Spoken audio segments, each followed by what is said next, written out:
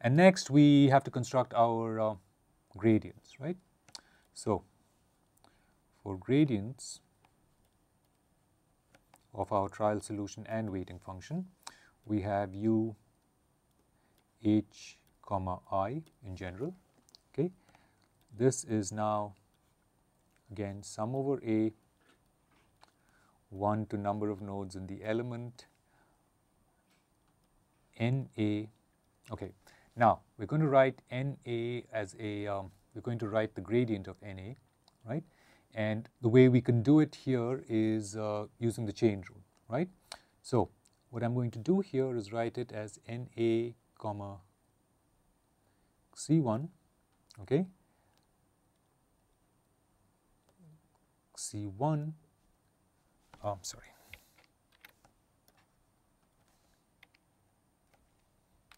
Na comma C1 times derivative of C1 with respect to xi plus Na comma C2 derivative of C2 with respect to xi okay.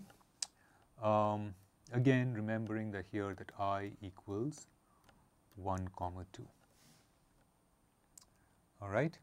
Now something to observe here is that um, I claim that this way of writing it works uh, for bilinear quads or for linear triangles. Okay, even though we said linear triangles have an additional can be written as uh, depending upon an additional coordinate C3, right? Because of course what we are doing in here is sort of rewriting uh, C3 as depending upon C1 and C2, right? That's what's going on here. Okay, so uh, let me say here that um, rewrite NA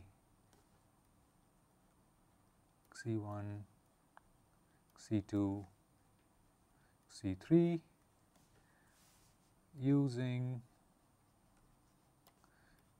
C3 equals 1 minus C1 minus C2 for triangles.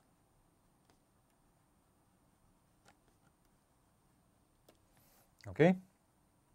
Right. Basically, there are only two uh, independent coordinates, of course, in 2D, so that's all we need to compute. Right. So that should be straightforward. Okay. That brings us then to uh, to the question of uh, how do we get um, how do we compute those derivatives of C1 and C2 with respect to xi?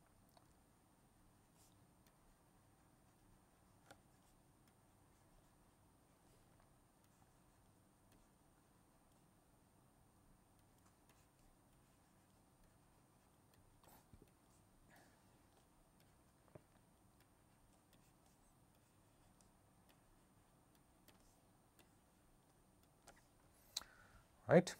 How do we do it? By exploiting the mapping of the geometry, right? So what we do is we use the, the fact that we have an isoparametric mapping.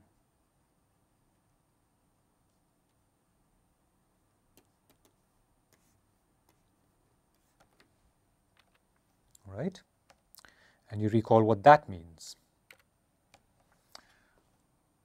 Right, that means that x um, i in element E, right, can be written as a function of C1 and C2 always by writing it as sum over A n A x a i e right just as we did before okay and in fact we've even drawn on the in the first or second slide of this uh, well, on the first and second slides of, of this uh, segment, uh, we've, we've, we've shown that mapping. Okay? All right. What this lets us do then is um, write out partial of xi with respect to C1 and partial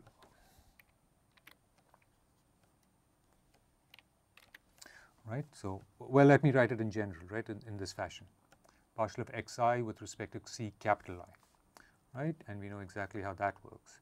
It is now sum over A running from 1 to number of nodes in the element um, comma C i x a i e. Okay, and here too we have i equals 1 comma 2 and capital I also equals 1 comma 2. Here too I've used the fact that even if we were working with triangles, C3 would be written in terms of C1 and C2, right? There are, there are only two independent coordinates. All right, and this is what then allows us to write J, right? The Jacobian of the mapping. Okay, so J is now, of course, just uh, partial of x1 with respect to c1 partial of x1 with respect to c2 partial of x2 with respect to c1 partial of x2 with respect to c2 all right so now this is a little different from 3D. Well, it's, it's different from 3D simply because we're working in two dimensions, right? But it is what you would expect, which is that the Jacobian of the mapping is a uh, tensor that uh, takes two-dimensional vectors to two-dimensional vectors. Alternately viewed as a matrix, it is a 2 by 2 matrix. Okay? And this implies for us then that J inverse, which is actually very easy to write because it is just a 2 by 2 and we know uh, there exists an analytic formula which is actually very easy to write out, right? We know that we can, we can now therefore explicitly compute the inverse, right? But that inverse by definition is uh, this.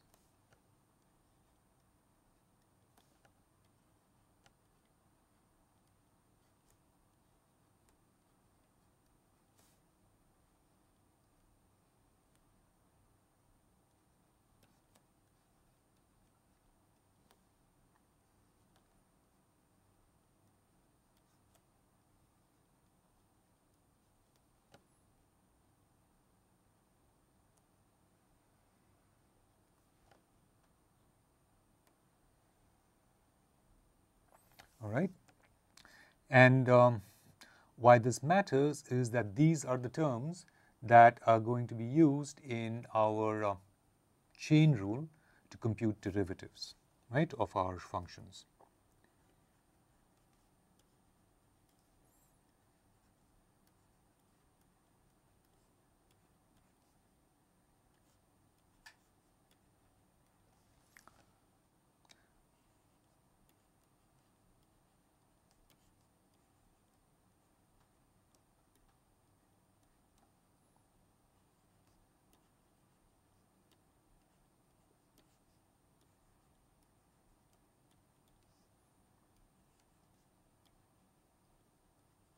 Right?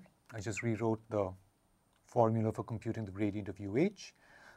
There is a sum implied over capital I, and you remember the capital I runs over 1 and 2, okay?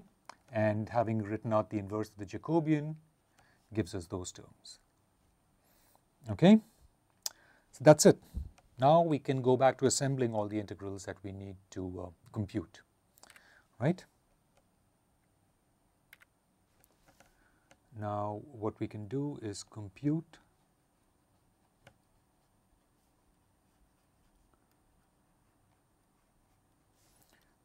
the element integrals.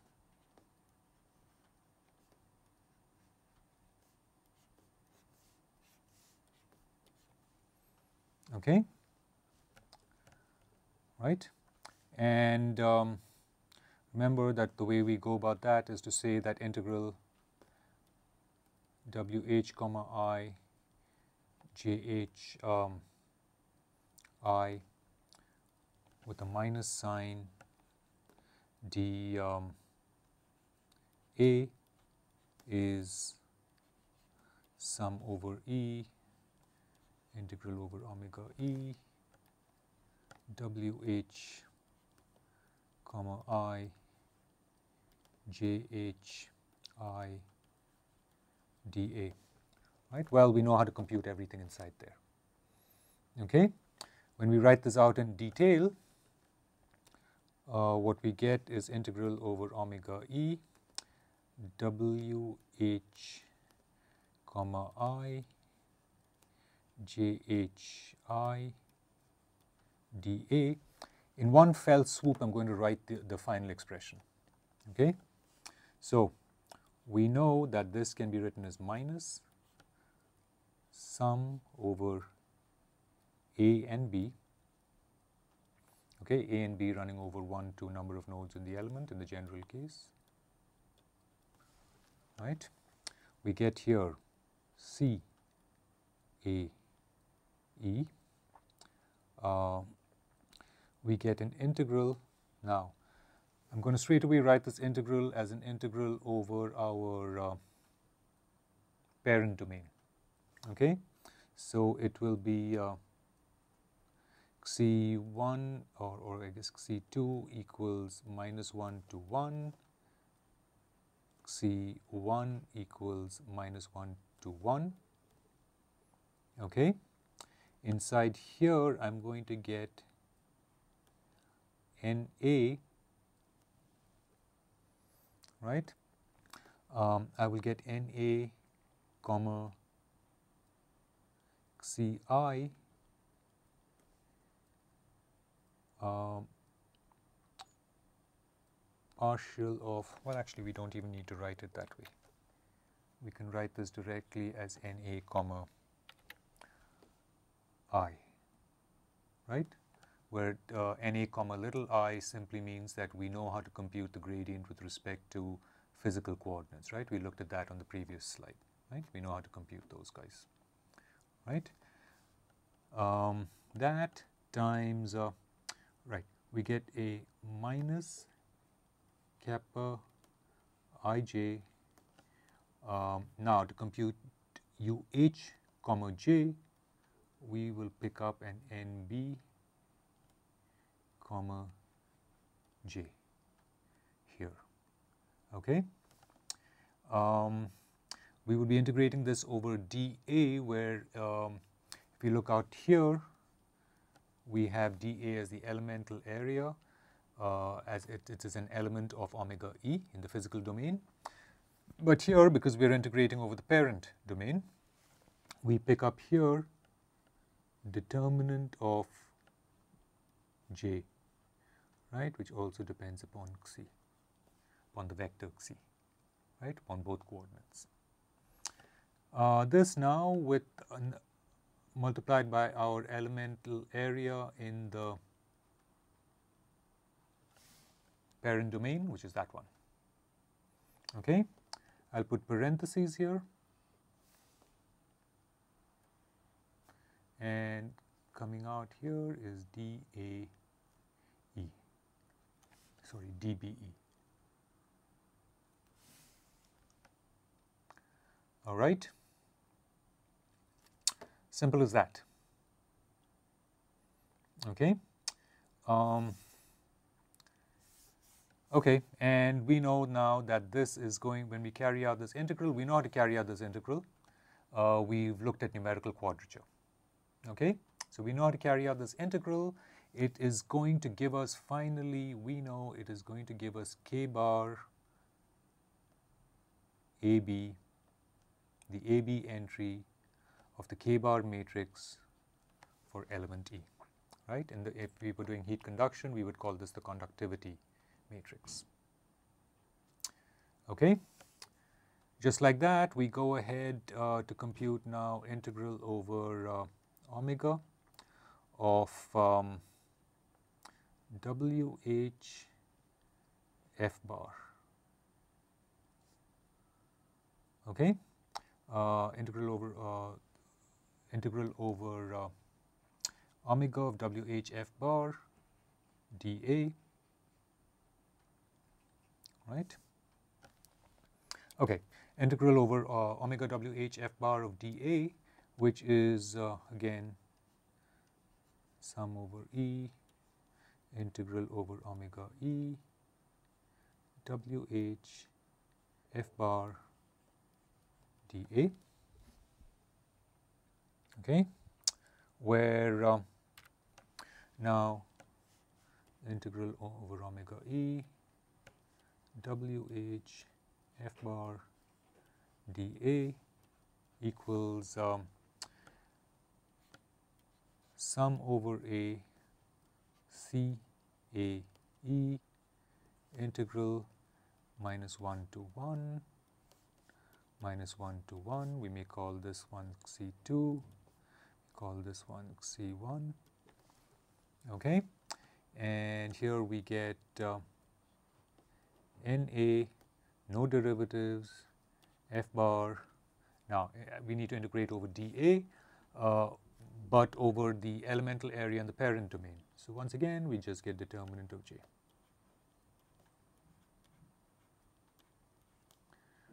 dC1 dC2 all right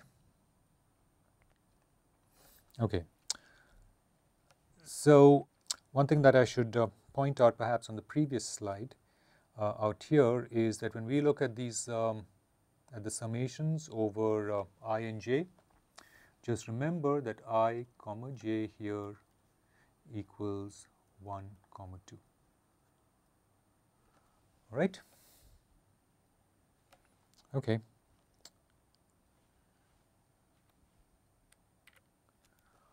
Okay, so we come back here, so that's how we know, that's how we need to compute this particular term, right? And uh, what we will, what we know also is that when we um, look at that term, it is what we will call, I believe we call this f bar internal um, A for element E. Okay, and the very last one is the now the the uh, integral over the Neumann condition over the Neumann boundary right? So we have integral over partial omega sub j wh j sub n d little s. Okay? Um, this one actually takes a little uh, work uh, simply because we need to be careful about how we do the uh, um, how we pick the degrees of freedom that contribute to that particular boundary here right from each element and also just recalling for ourselves what we will do with doing the integral along the curve that ds implies. Okay so we'll come back and do that in the next segment